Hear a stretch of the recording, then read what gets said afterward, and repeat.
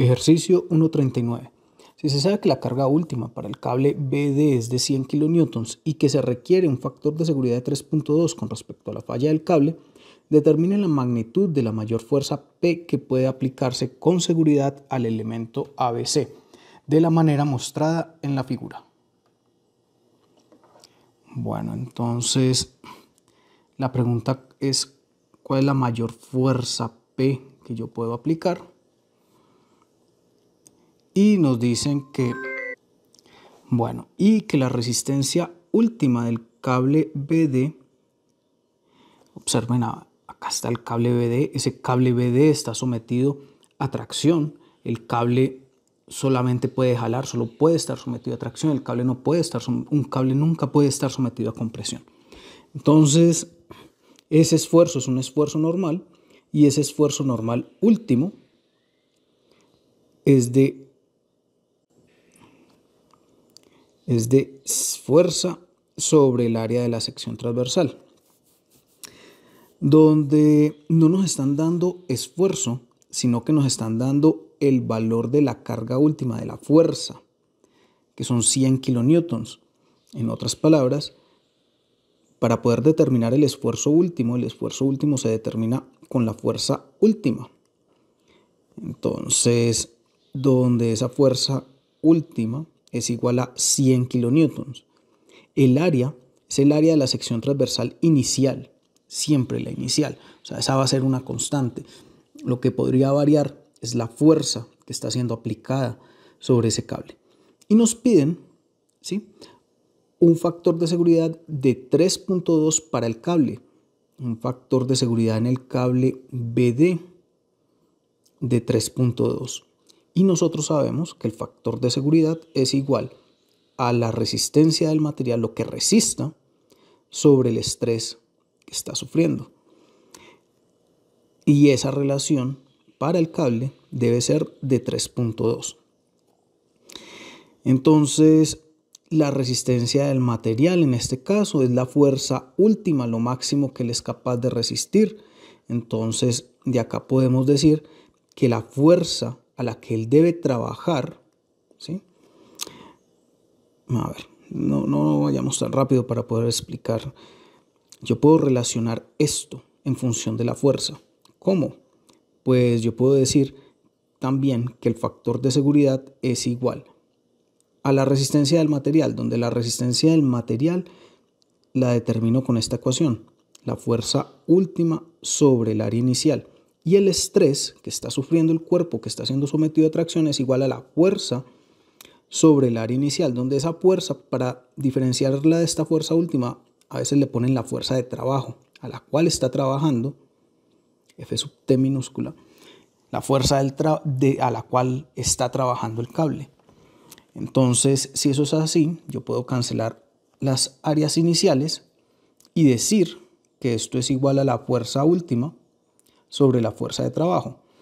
Voy a despejar de esta ecuación la fuerza de trabajo, la fuerza a la cual voy a poner a trabajar el cable, y esa fuerza es igual a la fuerza última sobre el factor de seguridad. Obviamente, la fuerza a la cual voy a poner a trabajar el cuerpo es una fuerza más pequeña que 100 kilonewtons, ¿sí? que es la máxima fuerza, la máxima fuerza a la cual puede ponerse a trabajar el cable, cable ¿sí? Y no quiero ponerle a trabajar esa fuerza porque se podría llegar a romper. Entonces, para eso, meto un factor de seguridad. Entonces, no la voy a poner a trabajar a 100, sino que la voy a poner a trabajar a 100 sobre 3.2. Esto es igual 100 sobre 3.2. Esto nos da 31.25 kilonewtons. Esa es la fuerza la cual voy a poner a trabajar, la fuerza máxima a la cual voy a poner a trabajar ese cable para cumplir con un factor de seguridad de 3.2. ¿Listo? Ahora la pregunta es, ¿cuánto debe ser P? ¿Sí? Entonces, miremos el cuerpo. El cuerpo tiene reacciones en C, obviamente. Acá hay una reacción con dos componentes, una componente en X, una componente horizontal y una componente vertical. C sub. Acá tenemos una sola reacción y esa fuerza se transmite por medio del cable. El cable va a estar jalando el cuerpo y hace esto. Entonces, ¿qué podemos hacer? Podemos aplicar las ecuaciones de equilibrio. Obviamente no las vamos a aplicar todas, vamos a aplicar solamente la sumatoria de momentos y esa sumatoria de momentos la vamos a realizar en el punto C, que es donde tengo varias incógnitas.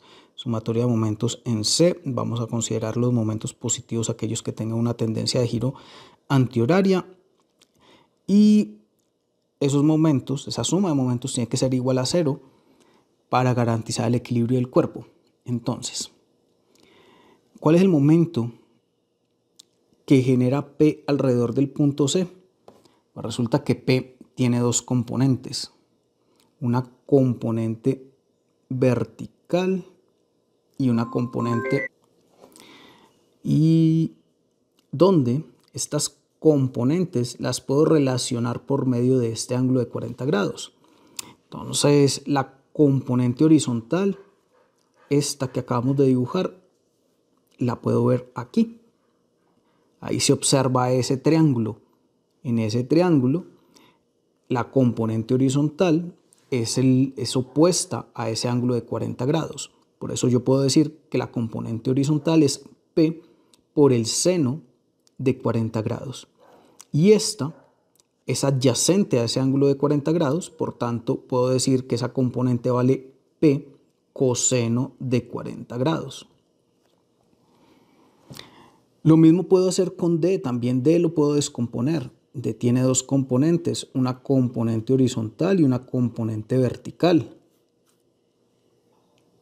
Donde la componente horizontal es adyacente al ángulo de 30 grados, entonces esto es D coseno de 30 grados, y esta es D por el seno de 30 grados. Bueno. Ahora sí, ya tenemos las fuerzas descompuestas, ya podemos determinar el momento alrededor del punto C. ¿Cuál es el momento que genera esta fuerza alrededor del punto C? Pues la línea de acción de esa componente es esta.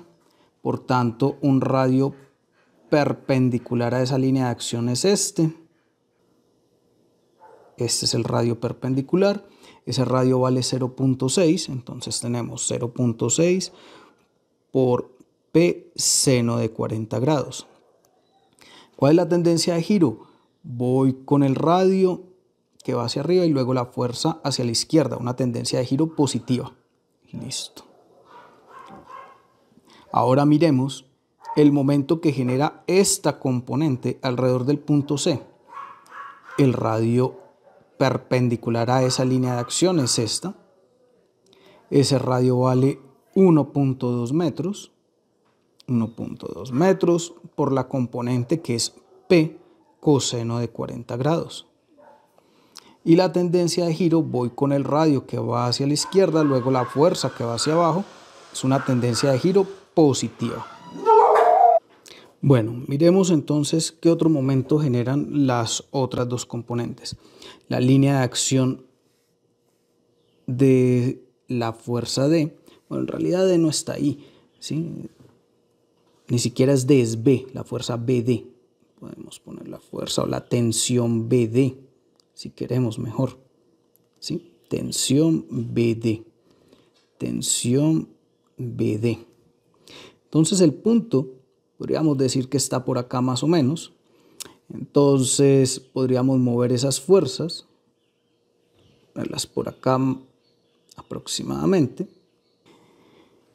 y decir que la línea de acción de la fuerza BD es esta y el radio perpendicular a esa línea de acción es este. Este, el radio vale 0.4 metros.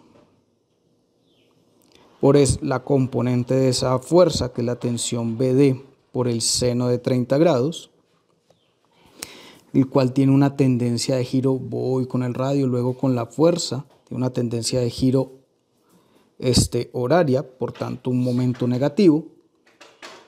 Y la, la otra componente tiene esta línea de acción y un radio perpendicular a esa línea de acción es este,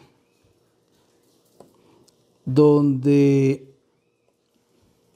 donde ese radio vale 0.6 metros por esa componente, que es la tensión BD coseno de 30 grados. ¿Y cómo es el momento? Voy con el radio que va hacia arriba, luego la fuerza que va hacia la derecha. Este tiene una tendencia de giro horaria, por tanto un momento negativo.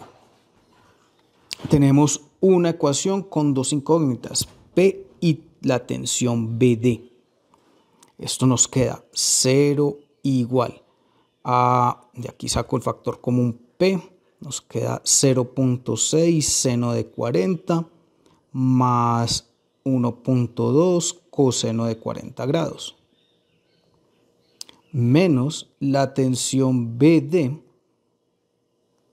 este 0.4 seno de 30 grados, más 0.6 coseno de 30 grados. Esto nos va a dar igual, 0 igual a P, que multiplica a 0.6 por el seno de 40 más seno de 40 más 1.2 por el coseno de 40 grados. Esto nos da 1.3 por 1.305 aproximadamente, menos la tensión BD que multiplica a 0.4 por el seno de 30 grados más 0.6 por el coseno de 30 grados. Esto nos da 0.71, 72 aproximadamente.